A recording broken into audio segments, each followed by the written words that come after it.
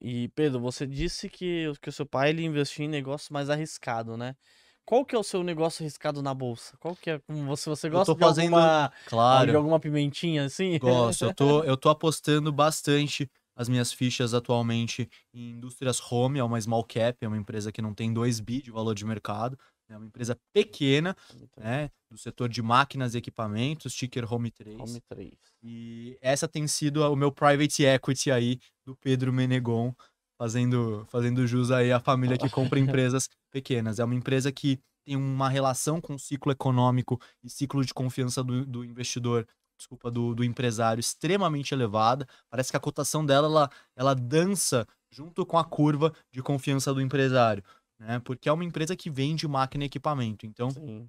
naturalmente, é uma empresa que está sujeita a encomendas e aluguéis dessas máquinas. E aí abastece toda a indústria, né? Eles têm máquinas é, desde fundição, produção de peças, peças automotivas, é, máquinas que produzem essas peças, tá? Sim. Motores, enfim, abastecem aí diversas indústrias. Uma empresa ali de Santa Bárbara do Oeste, que na minha opinião tá assim, um valuation extremamente descontado. Tem um pagamento de dividendos extremamente interessante. Tem a família fundadora da empresa no negócio até hoje. Então, é, os donos da empresa ainda vivem do leite desta vaca. Então, é, eles precisam desses dividendos também para é, é, ela alimenta, digamos assim, a família fundadora da empresa. Então a família vai correr para rentabilizar, né? Exatamente. E tem várias empresas, várias, vários membros da família ali dentro do negócio é, é, olhando para o negócio. Né? É claro que é uma empresa mais volátil, é por isso que não é uma empresa que eu, eu gosto de expor tanto assim. Eu, é, uma, é uma empresa que eu pessoalmente gosto muito, mas não é uma empresa que eu coloco, por exemplo, em todas as carteiras dos meus clientes, porque é uma small cap. Né? Não é uma empresa do tamanho, por exemplo, de um Itaú, né? Não é uma empresa como o Banco do Brasil. Mas é uma empresa que eu acho que tem um baita de um potencial, tô comprando bastante.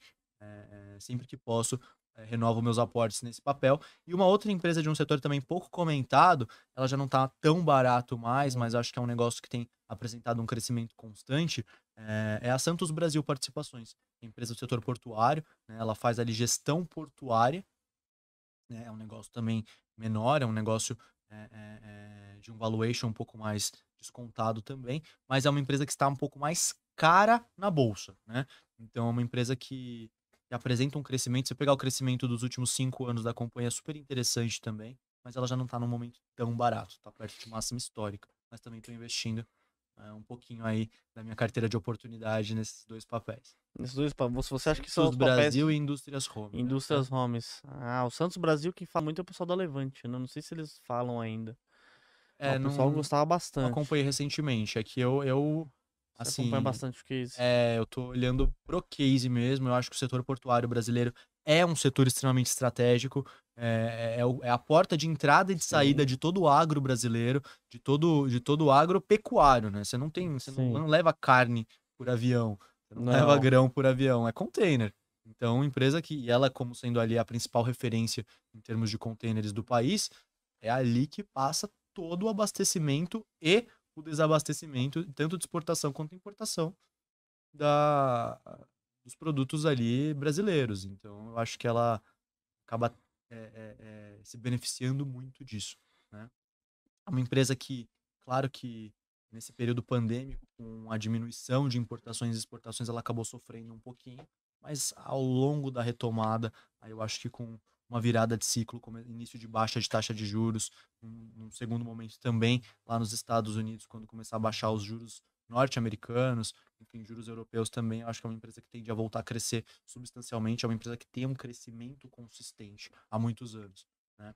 Paga dividendo, também não paga tanto dividendo né, quanto as indústrias home, se a gente for comparar. Mas também é uma boa pagadora de dividendos, porém só acho que está um pouquinho mais cara agora, mas vinha comprando também bastante. Mas, mas vinha comprando bastante. Sim. Tubarões, se vocês quiserem ver cotação de ações, de fundos imobiliários, de BDRs, ETFs, criptomoedas, você consegue ver através do site do Investidor 10, a plataforma completa. Tem diversos rankings também, maiores lucros, maiores ROIs, empresas que pagaram mais dividendos nos últimos 12 meses. É uma plataforma completa e você consegue gerenciar sua carteira. O QR Code está aqui na tela aqui, só você acessar ou no link da descrição aqui do vídeo também.